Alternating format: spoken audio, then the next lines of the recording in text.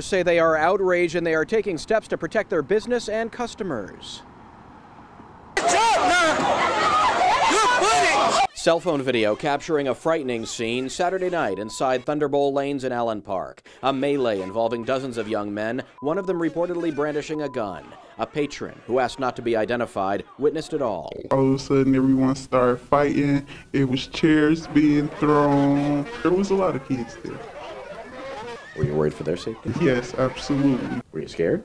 Yeah, of course. Everybody was scared. That's why everybody was running out. Management says this is not the norm for this long standing staple that hosts high profile tournaments. We're going to make sure that this type of situation never happens again. And we would encourage the people that caused this never to step foot at this facility again because we will call the police immediately.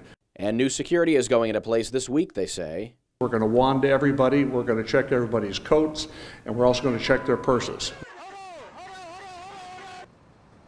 And as violent as chaotic as that was, Allen Park police say they are not investigating as of now because no party involved in that fight has filed any police report uh, saying that they were essentially violated. One of the two uh, parties that was involved in the scuffle would have to do that. So as of now, no police investigation, but as you heard, that bowling alley taking some major security steps to make sure that those types of folks don't come into their business anytime soon. We're live tonight. I'm Jonathan Carlson, 7 Action News. All right, thank you so much, Jonathan.